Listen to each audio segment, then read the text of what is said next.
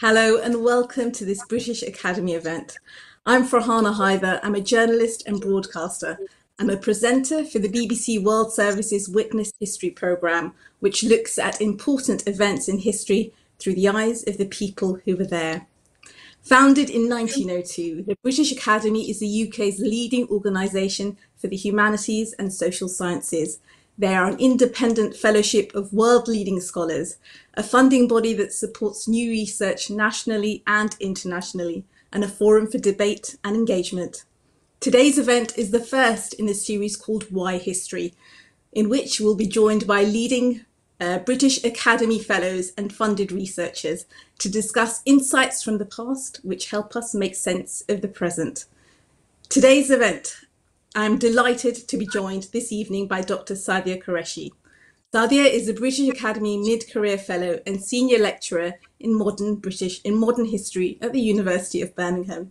She specialises in the history of race, science and empire. Her award-winning book, Peoples on Parade, Exhibitions, Empire and Anthropology in 19th Century Britain, explored the displays and exhibitions of foreign people in Britain during the Victorian period considering the lasting legacy such exhibitions have had on our perceptions of race and science. Sadiah is currently working on the history of extinction, from the mastodon to today's current climate crisis, and connecting these to the histories of race and empire. It gives me great pleasure to welcome Sadiah to our virtual stage for a discussion about her fascinating and wide-reaching research. She and I will be in conversation for about 40 minutes before taking a selection of audience questions. If you'd like to ask a question, please post it in the YouTube chat section. You're of course welcome to tweet during the event and can copy in at British Academy. Welcome, Sadiah. Thank Let's you so much, your... You're welcome. Let's begin with your first book, Peoples on Parade, which looked at human exhibitions featuring people from across the world in the 19th century. This is a concept that I think many don't know too much about. Can you explain what these exhibitions were, who went to them, and how they work? Yes, so we're quite used to the idea that if we want to learn about foreign peoples, we might watch a TV documentary or maybe fly out to places and uh, go and visit places. But often that's not an option in the 19th century, obviously not with television. Um, but before the era of cheap travel, that's not available either. But one option that is available, apart from reading literature, is to go to a local gallery, uh, a local theatre, or so on, and see living foreign peoples performing. So throughout the 19th century, there are entrepreneurs, managers, show people who bring over groups of foreign peoples to perform songs and dances and rites. And they're advertised as a chance to meet and greet uh, foreign peoples and learn about their what we call manners and customs. Um, so they're a, a, really, really important way um, of encountering foreign peoples within Britain in the 19th century. And you see all sorts of different kinds of people uh, brought to Britain, for instance, from Arabs uh, and the so-called last of the Aztecs right through to Zulus. I mean, today we find the idea of these shows, I mean, dreadful to imagine. But as you've said, they were very popular at the time. Why do you think that was? What drew people to them? I think if you take a city like London, for instance, it's a huge multicultural city and it's very, very easy to see ethnic difference. Um, over the last years, for over the last few years, for instance, we've seen a huge outpouring of interest, for instance, in the British Black presence. So it's very, very easy to see ethnic difference in London.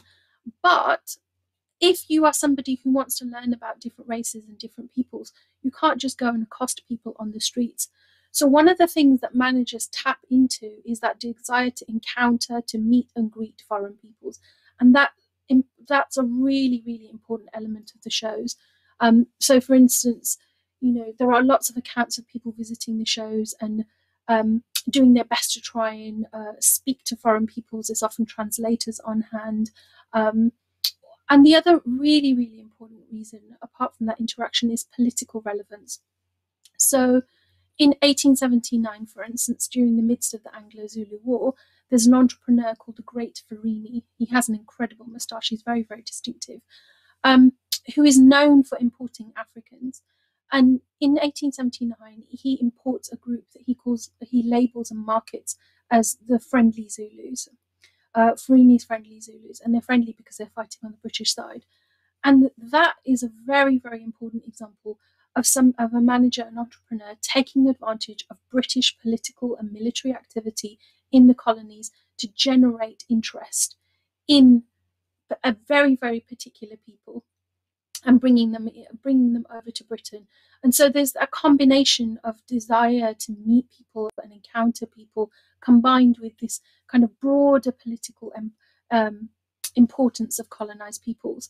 And of course, the other really really important thing is that different empires import different people. So, for instance, it's you can see these shows in somewhere like Paris, but there what tends to happen is that you tend to get people from West Africa or French colonies, whereas in Britain it tends to be more like Southern Africa, for instance, and British colonies there. So there are deeply, deeply political reasons why people are interested in the shows, as well as just curiosity. And what about the performers? Do we have examples of what the performers thought of being in these exhibitions? Um, do we know what happened to them after the shows ended? I mean, in your research, did you come across particular stories that you that have stayed with you and that you thought were particularly important?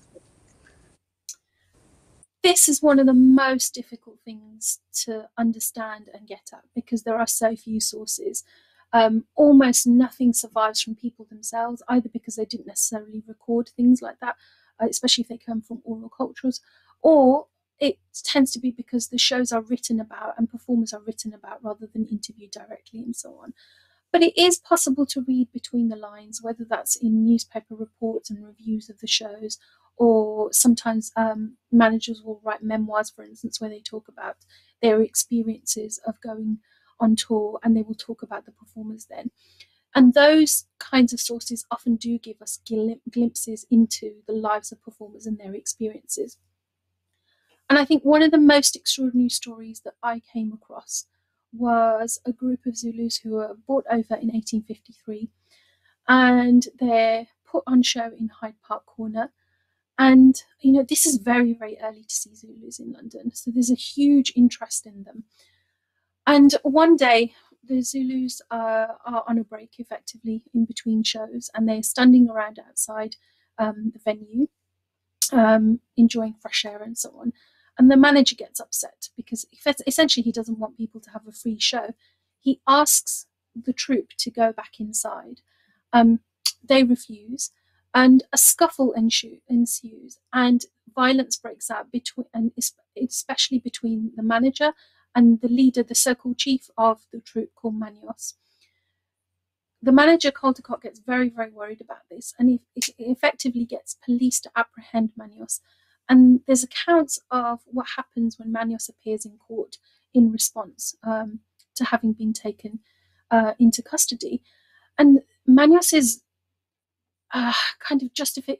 The judge asks him why he essentially why he was violent or aggressive, and Manios responds by saying, "I know I'm under contract to make, uh, you know, to be exhibited and to take part in these shows, but there's nothing to stop me going outside. But also, um, I am a man that should be respected and I should not be treated that way. Um, and he mm-hmm. has a very, very clear sense that as the chief, he should not have been treated in such a disrespectful way uh, by the manager Caldecott. And eventually, the judge um, basically releases Manios and tells him to behave.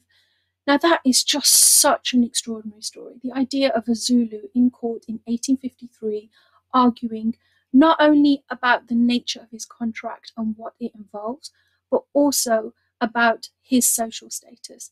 So every now and then we see these glimpses into these experiences of performers that are just so important. Um, for me, that's one of the most striking. But there are other examples, for instance, of people getting married or having relationships. So, for instance, in, during throughout the 1840s, there are various Native American people um, that are put on display by uh, an exhibition a, a famous painter uh, by uh, a guy called George Catlin. And in 1844, um, uh, for instance, he brings over a troupe. And at his shows, one of his tra- um, translator um, actually meets a woman, Sarah Haynes, for instance, and you know that that encounter leads to them being married, Alexander and they, they get married and eventually they move abroad. And so there are these there are these entire lives that are lived outside of the exhibition venues are really, really important aspects of what the shows mean that are difficult to get at, but we can get glimpses of them through any source and that tells us about the encounter between performers and showgoers and managers. That's really fascinating. Um, you said that the scientists and anthropologists who attended the displays alongside the general public are especially interesting to you. Why is that? There are several reasons. I think when I first began researching the shows, my overwhelming feeling was that people tended to think of them as imperial spectacle and little more. Uh, something that was important for like jingoistic reasons, for instance, but not much else. But I'm trained as a historian of science, and I felt that there was much more to the story. And I felt that actually the show's left really, really important legacies that we can see if we look at how anthropologists use them. So anthropologists would attend the shows just, uh, you know, as keenly as lay people would. But they also used the shows for their own research in various kinds of ways. So they weren't just consumers. For instance, they would often set up um, private meetings with the performers, for instance, so that they could, um, you know, guide those encounters in, uh, to the to the benefit of their research. Sometimes they would perform experiments on people, for instance. Um, unfortunately, sometimes performers pass away abroad um, for all sorts of reasons, whether it's ill health or, for, for instance. In those circumstances, some, sometimes anthropologists quite literally appropriate the bodies of displaced peoples for their research and conduct autopsies and so on. So there are, there's a, there's a way in which performers quite literally become experimental material. But even the shows themselves are really, really important for anthropologists in various ways. So if we think of 1886, there's the Colonial Indian exhibition that happens in South Kensington in London. And there are many, many displayed peoples brought over, dozens um, of different ethnicities and so on. Now, even in a city like London, with the kind of ethnic diversity it has, it would be very, very difficult to encounter a group, such a wide variety of ethnicities in one place. And the anthropologists are really keen to take care of, take advantage of that. So, for instance, they hold conferences at the ex- uh, uh, in relationship to the exhibition. Um, curators will take them around the shows and show them specimens and so on in display, and they will talk about them in relationship to their own theorizing. Um, and then they will publish journal articles and so on with them. And effectively, what they're doing is using the exhibition ground as a training ground to learn to recognize different kinds of people and also to conduct research on different kinds of ethnicities.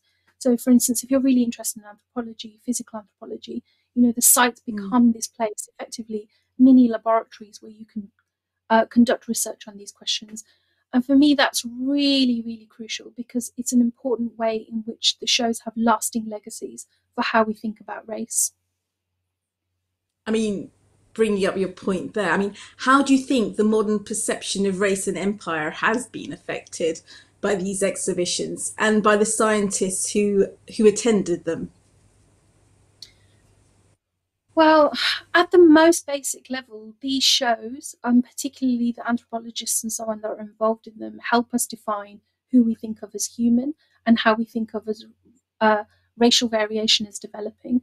So, for instance, in the early 19th century or the late 18th century, or you know, throughout the 18th century, for instance, um, it's very, very common to think of ethnic difference as arising from climate. So people will often argue that races that live closer to the sun, uh, sorry, to the equator, for instance, because they're more exposed to the sun, will be darker, um, and to and then that will be associated with any any number of kind of so, social cultural forms of organization. But in the later 19th century, people start to tend to kind of dispute those kinds of theories, and other kinds of theories emerge. And at their most extreme, people will go as far as arguing that different races of people constitute different species. that's quite a minority view. But the fact that that debate is happening in the 19th century at all shows what's at stake in terms of defining who is human and what does variation between humans mean. And of course, anthropologists are involved in those debates as well as you know uh, any number of scientists and so on. And that's why, in doing research on these shows, anthropologists and and these performers have such an important lasting legacy for for our ideas about race. So, as you say, a lasting legacy. Um, and we've said how popular they were in the 18th century, but in some cases they continued into the 20th century. Um, do we have more recent examples? I mean, did you come across more recent examples in your research? Yeah, I often do. Um, I mean, the shows continue right through to the 1930s, and world fairs are ongoing. So, you know, people will have, um, for instance, national displays at world fairs and so on. But I think there are other venues, in, but not necessarily exhibited in that kind of way, living people in that way. But one of the examples that really, really stands out to me is that I was in Australia several years ago. Was conducting research. Um, and I took a day off and I booked a day trip to go to uh, a local mountain range. Um, and it was absolutely stunning. But the tour operator had arranged, as part of the tour, day, day trip, to basically see a performance by Aboriginal people. And the whole performance was supposed to be them performing various rites and songs. And for me, that instantly resonated with the 19th century shows. And I felt very uncomfortable with it, especially with the way. So it was in a kind of shopping mall, um, and there was a small section devoted uh, to the show, and it was um, made up to look like um, like a, almost a, a, the most bizarre sort of jungle theme straw huts and mm. stuff like that outside in terms of the entrance. Um, I felt very uncomfortable with it and I wanted to know a little bit more about it. So I asked a couple of the performers and they were quite reluctant to speak to me for obvious reasons. And I asked them whether they themselves had come up with the idea of the shows or whether they were being managed, for instance. And effectively, they said somebody non Aboriginal was in control of the show itself and it was effectively um, being run uh, for tourists for profit. And that to me felt deeply, deeply uncomfortable. Um, and they were very clear they were doing it because they needed a job. And, you know, so there are ways in which the, that sense of exploiting ethnic difference for profit does appear in modern kind of context. Often it's things like folk performances and stuff. Um, and I think people don't necessarily even realize that that there is this longer history attached to those kinds of performances. Um, I didn't go in to see the show. I just I couldn't simply couldn't bear the idea of it because I know how ex- exploitative a history those shows have. And of course, that would it could have been a very very different situation if Aboriginal performers had been in charge of um, the show's content, the context, and so on, how they presented themselves, and if it had been done in, for instance, in educational contexts and stuff. But this was very, very much a com- commercial for-profit kind of organization. So they, they do occur, um, and often in some kind of way associated with tourism. So they were on display, as it were. Absolutely, quite literally on display, performed as living examples of Aboriginal peoples It's quite astonishing. I mean, recently in the news, it, it came up. Um, the Bronx Zoo apologised for displaying um, a young Congolese teenager, Ota Benga. I mean, 114 years since he was he was displayed and caged. But you know, it, it shows how these um, exhibitions, how the legacies still resonate. I mean, do you have examples of other places apologising? not off the top of my head I can think of in terms of apologies, but I think the very fact of that apology shows that there is a lasting legacy. Um, mm. Even if we didn't have contemporary examples of these kinds of shows happening, there are all sorts of ways in which peoples are, uh, you know, enter into Western scientific discourse and so on that, in, that are deeply, deeply destructive. So I mean, one example that's not necessarily an apology so much, but is a repatriation is that of Sarah Baartman. She was displayed in London from 1810 onwards. She died in 1815. She was ex- ex- exhibited all over the country and in Paris. Um, her body entered um, French museums via um, being. Um, she had an autopsy done on her by a French scientist called Georges Cuvier, um, and so her remains remained in a museum until they were eventually repatriated nearly 200 years after she had died. Um, and she was buried on International Women's Day. And so there are those kinds of moments where slowly museums or governments are recognizing that this, that especially the human remains that they have as a result of these kinds of shows, that there is a real question about whether those remains should be kept or not, and campaigners wanting them back, but also ethnographic objects, for instance, whether they, for instance, they enter collections and so on. If you think of the Field Museum in Chicago, mm. many of its collections, um, in in its origination, uh, at the original point of it being set up, came mm. from mm. the Chicago World's Fair, for instance. So there are there are all sorts of ways in which um, literally humans, but also objects, enter into collections, and there's a huge question about whether they should be there or not. So I think there there will be more calls for apologies and more calls for all sorts of um, recompense. Um, I mean, Sally, we've touched on and we've talked about how popular these shows were. Um, did you come across any um, posters or photos that that have stood out to you? I mean, if you could describe them, that would be really interesting. The, I mean, there's a whole ephemera around shows that are really important um, for various kinds of reasons. So often you will have text saying something like "the last of their race," or "come and see uh, the the first person of their kind," the first um, you know, Zulu in the country or something like that. So those kinds of claims are extremely common, especially the sense that either this is the first of their kind or the last of their kind to be exhibited. Um, there's often images, so um, often drawn from travel literature and so on.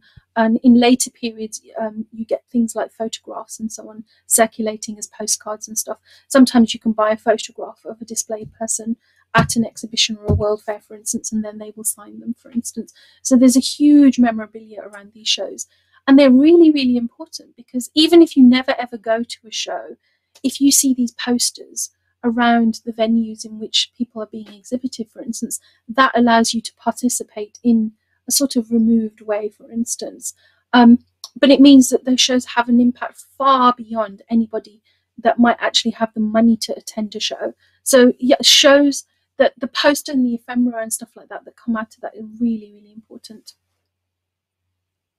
I mean, do you think the these shows, I mean, having these exhibitions and these peoples on display, do you think uh, by having them, people, the exhibitions were being seen as their race and who they were was being seen as subhuman? Uh, was that part of of the legacy of having these exhibitions? Denigrating the race entirely? Um, so reactions are often quite varied. There's definitely deeply, deeply racist interpreters who will say things like, you know, uh, you know, that performer was particularly ugly, which is just an example of how that particular people is ugly, for instance, or are, or are ugly. Um, or, for instance, you know, they, they're just, those people weren't intelligent, for instance. There is a whole kind of range of really deeply racist commentary like that. But there are people who are actually quite surprised by performers when they go to shows. So, for instance, sometimes um, people will be put on show with their children. So, in the 1853 show that I mentioned, the Zulus, uh, one of them is actually a woman who gives birth um, uh, en route, I think, and she has her child with her. And when people see her playing with her child, they will make all sorts of comments about you know, um, the universality of the maternal instinct, for instance, mm-hmm. and and they will talk about the, how lively the child is and so on. In the mm. same year, there's also a couple of um, young African children put on display called Flora uh, Martinus, and they dis- they are um, advertised as the Earthmen, and they are really interesting because overwhelmingly press reports describe them as extremely beautiful children. Um, I've seen pictures of them; they're absolutely adorable. So I'm not surprised by that. But people often also talk about them as being very, very intelligent, quick-witted, and so on. And they use that and as an example of saying anybody who thinks so-called savages are not mm. human can actually go to these shows, see these incredibly intelligent children, and know that that's not true. So there are commentators that use the shows across the spectrum of thinking about race, some in deeply racist ways, and others in more favourable terms. But of course, that's not to say that they are saying all human beings are equal. Far be for me to suggest that mm. at all. They are still relying on deeply hierarchical ways of thinking about humanity, but they do add, they do talk about the shows as opportunities for scholars of humanity to think about the different ways in which people show humanity, such as the universal maternal instinct and so on. So it is it's a very complicated story about how people respond in, in terms of their interpretations of um, their reactions to performers.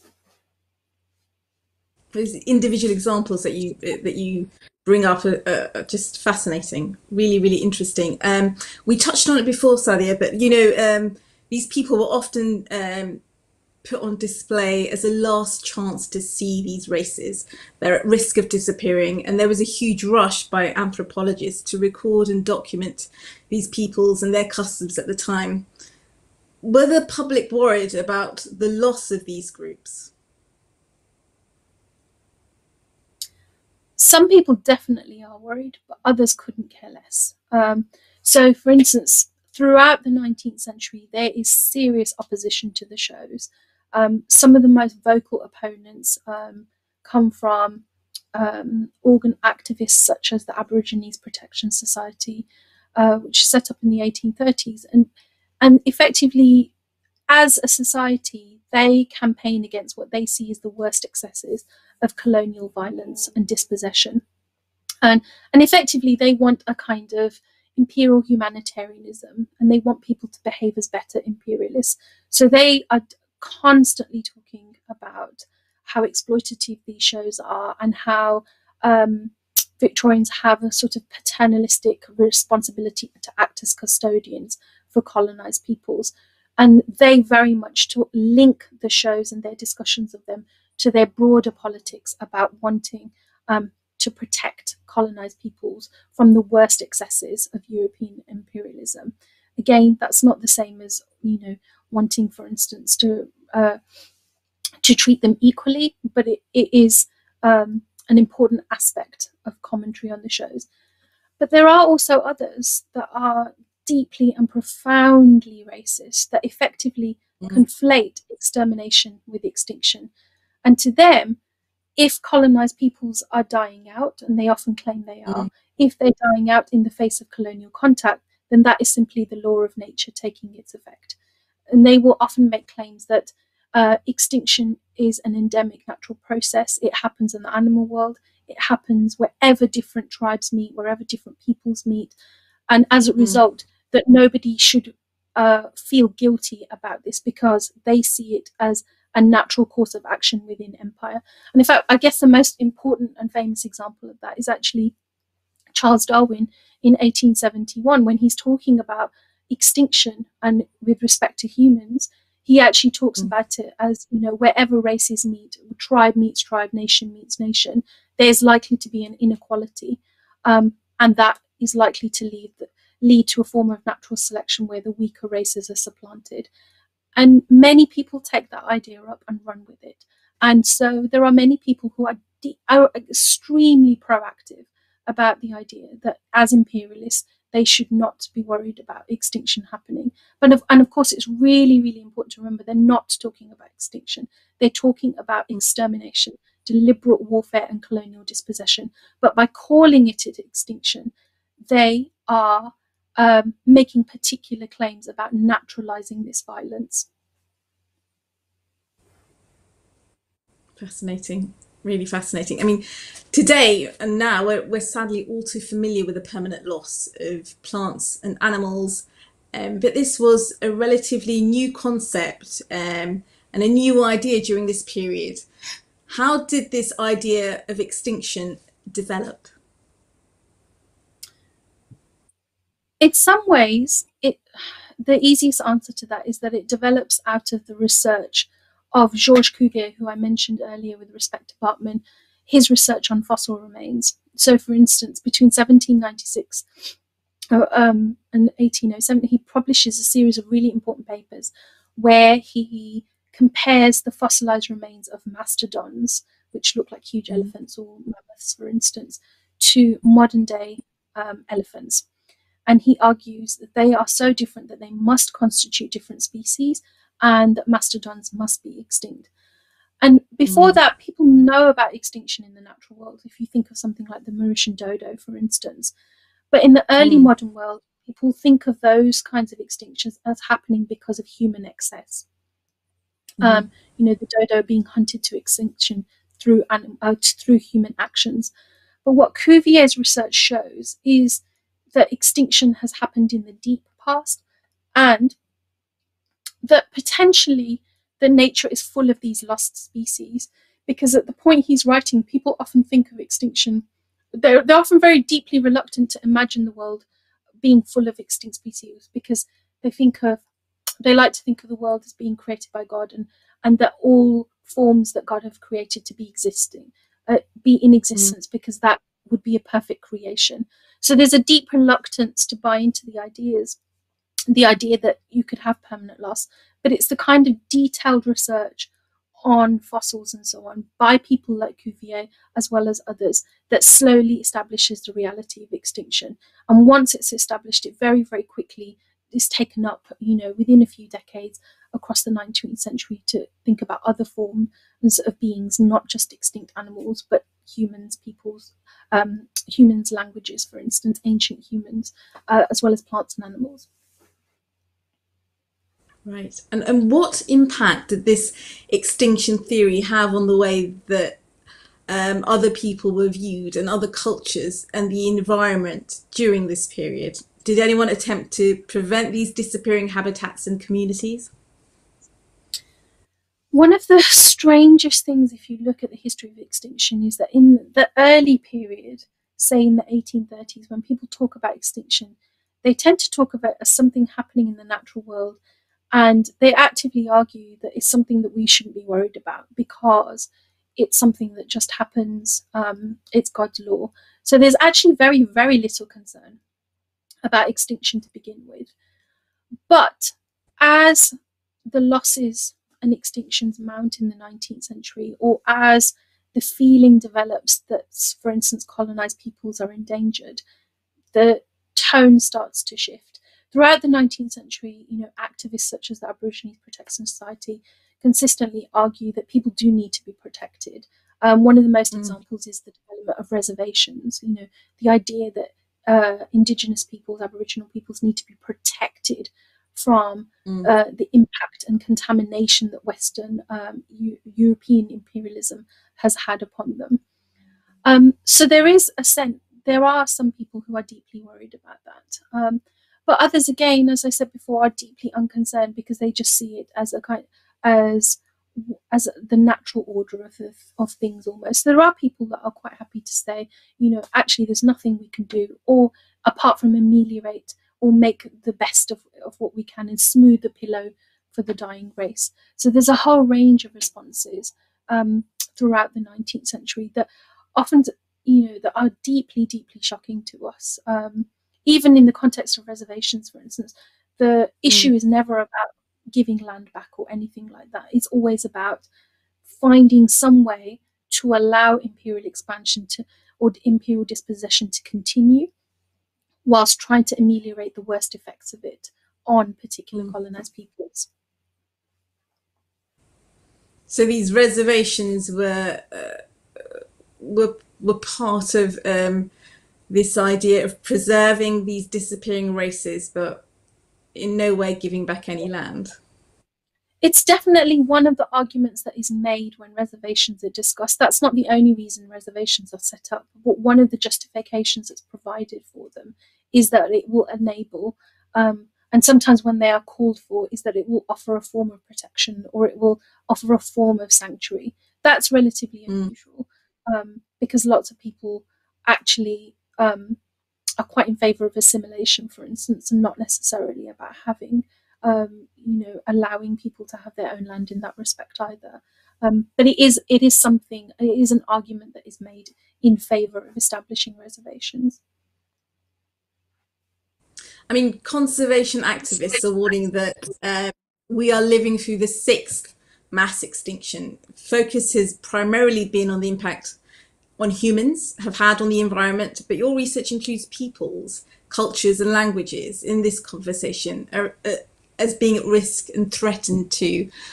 Why do you think it's important that the threat to humans and nature are looked at together?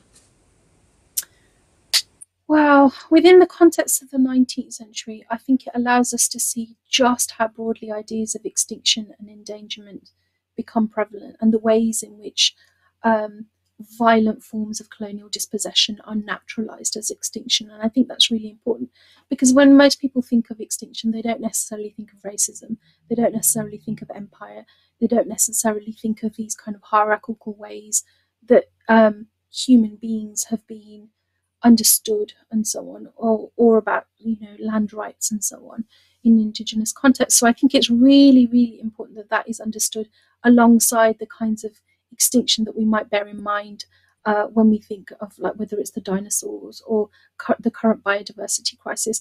Because it's i mean especially as a historian for me it's really really important that we have that rounded mm. sense of what extinction means.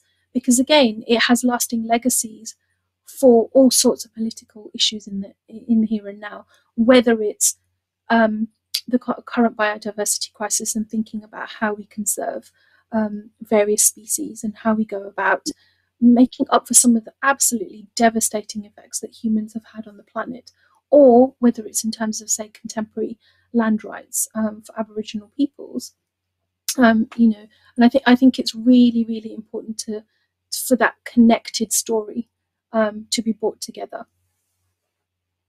I mean, we'll be going to audience questions soon, but um, do you think that policymakers and that um, people that are focusing on environmental policy should be looking at human extinction as well and, and nature together rather than as we look at now and just at at um, rising seawaters, etc. Um, well, there are ways in which they're connected. So, for instance, you know, if we're thinking about the climate crisis, some of the people who are likely to suffer the worst effects of those will be dispossessed peoples, um, whether that's formerly colonized peoples or not. So I think bearing that in mind in terms of histories is really, really important. Um, but there's also a way in which I think even if those stories remain disparate, that humanities scholars can play a part in those kinds of discussions. Because again, if we think of conservation as a purely technical scientific problem, we're actually missing out on the fact that who we cho- what we choose to conserve is a political decision. It's a moral and ethical decision. And in order to mm. understand those issues, I would want, you know, humanities scholars to play a part in that, whether that's philosophers or historians and so on. So I think it's recognizing that the humanities have something that's of importance in understanding what extinction means to us and then and how we make those decisions about how we move forward in terms of conserving the planet because I mean, obviously, there's a you know many many people who deny things like the climate crisis and so on. But I think broadly, yeah. most people are really really shocked um, and really deeply worried about our impact on the environment. I mean, just during lockdown this summer, we've actually seen one of the best uh, kind of examples of our impact by sh- showing what's happened during lockdown. The, momentarily mm.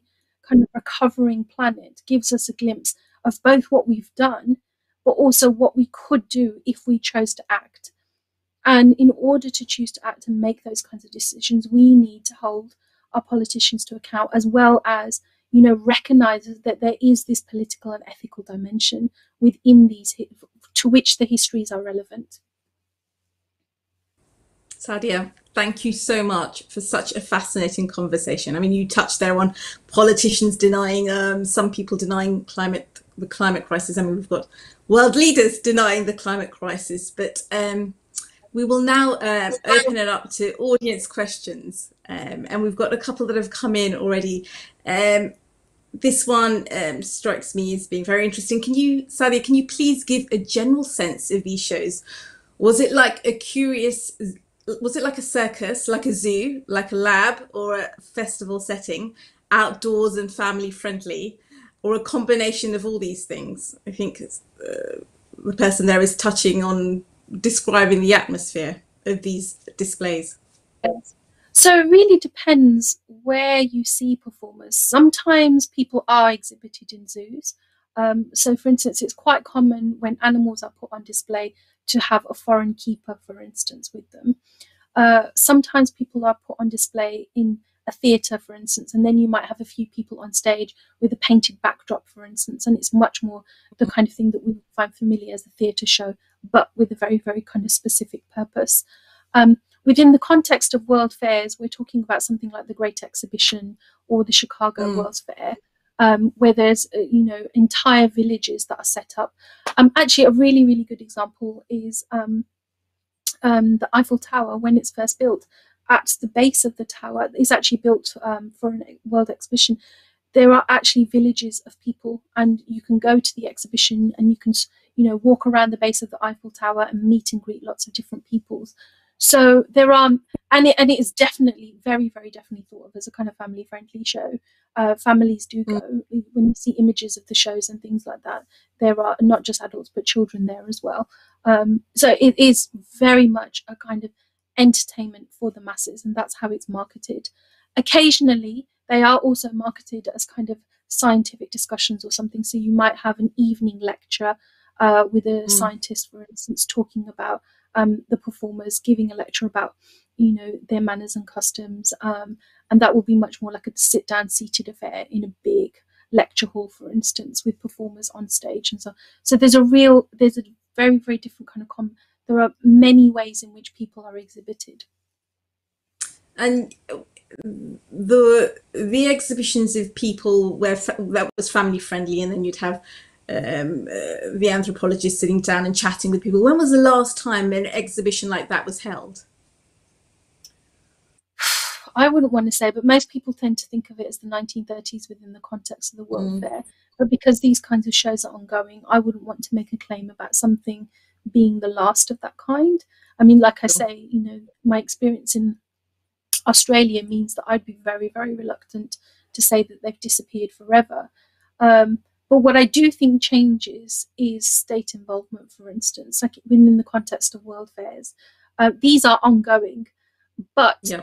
people do not see world fairs as a as a place where you can, it, you know, necessarily go. Um, where where a state would feel that I, you know, that it was to their benefit to put people on parade in this kind of way. Um, so it's that kind of thing that changes, I think. And certainly from the late 19th, early 20th century onwards, anthropologists tend not to use the shows for scientific research anymore and they become much more associated with spectacle. Partly because, for mm. instance, if you want to measure someone's head or something like that, you know, if you're a physical anthropologist, those shows can be important to give you access to, you know, people and living examples and so on. But mm. once anthropologists start asking different questions, so for instance, once they become much more interested in social networks, kinship groups, and so on, then the shows mm. become much less useful because you don't necessarily import uh, a whole village of people.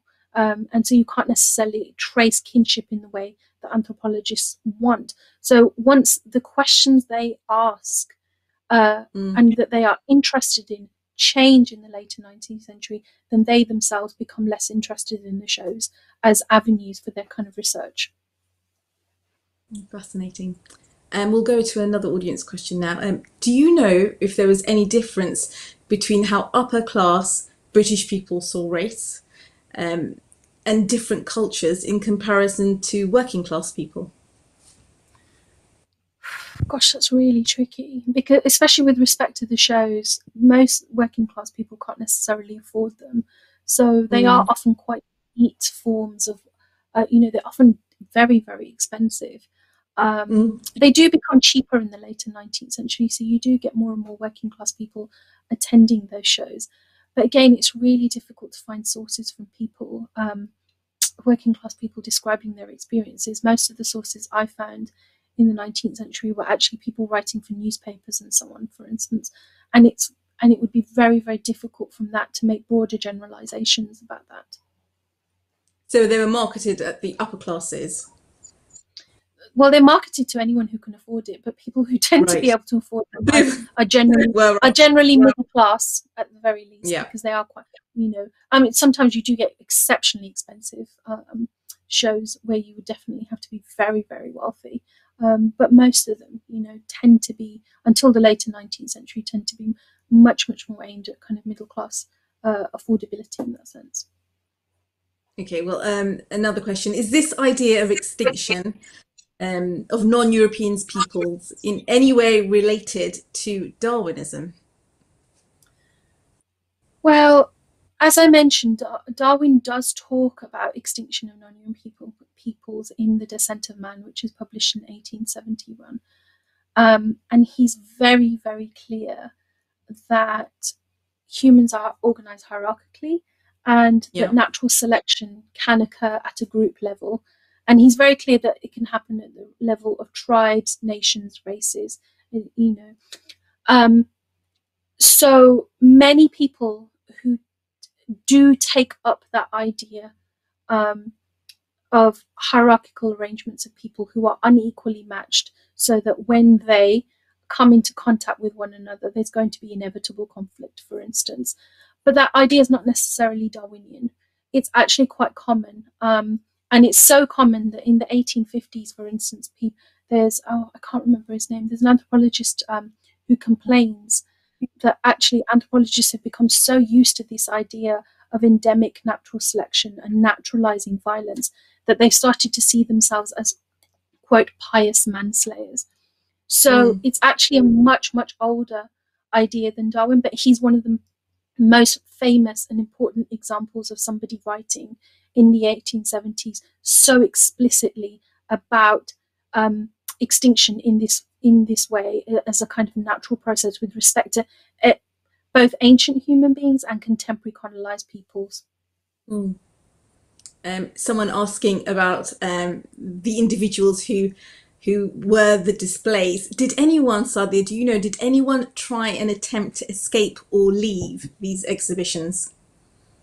Uh, I'm sure they did. Um, there are stories, for instance, I'm not necessarily sure about escape in the sense of that, you know, there are definitely ways in which display peoples show their agency and object to the ways that they're put on show, for instance. Mm. Um, I'm trying to think of examples. So, for instance, sometimes it will be complaining about conditions. So, for instance, um, there's a troupe of Indians that are displayed in the 1880s, for instance, where um, they constantly complain about being cold or something like that. Sometimes people will argue about pay, for instance. So, as well as Manios um, in 1853, there's another example I know of where um, there's reports in the press in the 1850s of an African man who is complaining about his pay um, and he feels that he's being underpaid.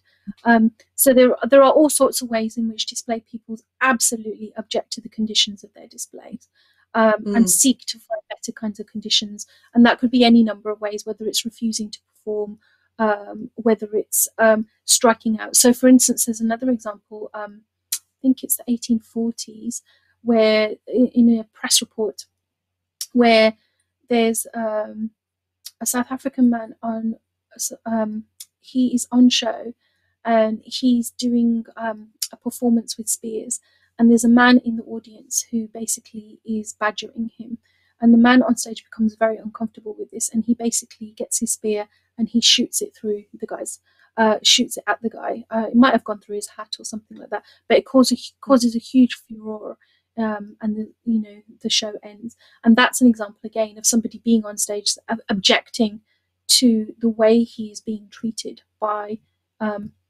the audience who, who feel entitled um, to badger him in this kind of way.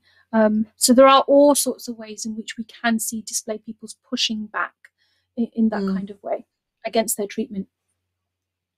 We've touched there on um, um, people on display um, trying to escape or protesting. Is there any evidence of public controversy? Did some people object to uh, the displays as a problem? And this is, I assume, this person is asking about the general public rather than those on display. Did anyone object? Was there any controversy regarding these exhibitions, Sadiah? Yes, absolutely. Um, there are controversies right throughout the 19th century, and you can find them with respect to most shows that are that take place. One of the most important and famous, for instance, is Sarah Baartman in the early 19th century, uh, who I said, you know, she's put on display in 1810. And basically, you know, she's put on display just three years after the abolition of the British slave trade. And there's a real concern that she's enslaved. Um, and a very famous abolitionist, Zachary Macaulay, actually brings a court case where, because he's so concerned that she is enslaved, um, mm. that court case is then heard. Um, a contract is presented that uh, is supposedly between her and her manager. Is very unclear whether she ever signed that contract or whether it was legitimate or not. But a contract, you know, is found and um, uh, presented to the court. The court dismisses the case and does not recognize Baartman as enslaved. But that's an example of you know somebody uh, objecting to the display and finding it so worrisome that they actually take that kind of action. And it's very, very common to find people that kind of concerned. Like, I, uh, like I say, in the, um, throughout the 19th century, the Aborigines Protection Society are consistently critical of these kinds of shows and often try to do mm. things, you know, um, whether it's just in the press and so on, that talk about how problematic these shows are and are and that argue that they're explo- exploitative. So in the late 19th century, for instance, um, there's a show at Earl's Court actually. It's quite extraordinary. Um, the whole of Earl's Court is made to look um, like an African village, and they have um, dozens and dozens of African performers on site. And the Aborigines Protection Society is very, very explicit that they see that show as enslavement, but just not something that's defined as that in legal terms. So they do use this language um, right, throughout the 19th century. Gosh, fascinating. Um, can anthropology today be seen as distinct from its colonial roots? I really to answer that. yeah, I think I think anthropologists would like that to be true, but I don't see any way that there has been such a break that we can see that it's dis- that it is so distinctive that mm. that somehow those traces of colonialism don't remain um, whether that's in the way, for instance, anthropological collections. If we just think of museum collections and so on now, you know, these are incredibly important kinds of issues that museums are having to deal with. Lots of anthropology museums all over the world have human remains in them or objects in them that are still used for research or still put on show that were taken in these kinds of imperial contexts. So many, many years ago, for instance, I was in um, Chicago for research, and uh, I was going around the Field Museum, and one of the cases was um, blacked over um, mm. because inside there were objects that were never intended for public display, um, and they had they had done that because there had been objections from Indigenous peoples, um, basically claiming their right to these pe- to mm. these objects and wanting them to be returned to to them. So there are all, when those kinds of issues are so live about repatriation and so on, I don't mm. see that there's a distinct enough break to say that anthropology is not colonial. I think it absolutely is and continues to be. But that doesn't mean that it's colonial in the same way that it was necessarily. Um, in your, and you know its relationship to colonial um, colonialism has changed in that respect. But I think these the legacies of colonialism and so on are still absolutely being worked out, especially with respect to things like repatriation and display. So increasingly, museums do, um, you know, do try and think about these kinds of issues, and there are efforts to try and work with Indigenous peoples or with what's often called source communities about how these objects should be displayed. Um, but that's mm. not necessarily as common as it should be. I think the first time I saw that an, a museum exhibition where mm. um, that was really, really obvious was in Melbourne several years ago. I was going, there's a huge gallery called First Peoples there. Mm-hmm. And there were many, many labels there that said we, as in the Aboriginal people, we belong to this land, or you know, and that really was the first time I had seen a museum exhibition where the labels had been written by Aboriginal people and where that we was used. So, you know, talking about themselves rather than being talked about. And that is nowhere near as common as it should be.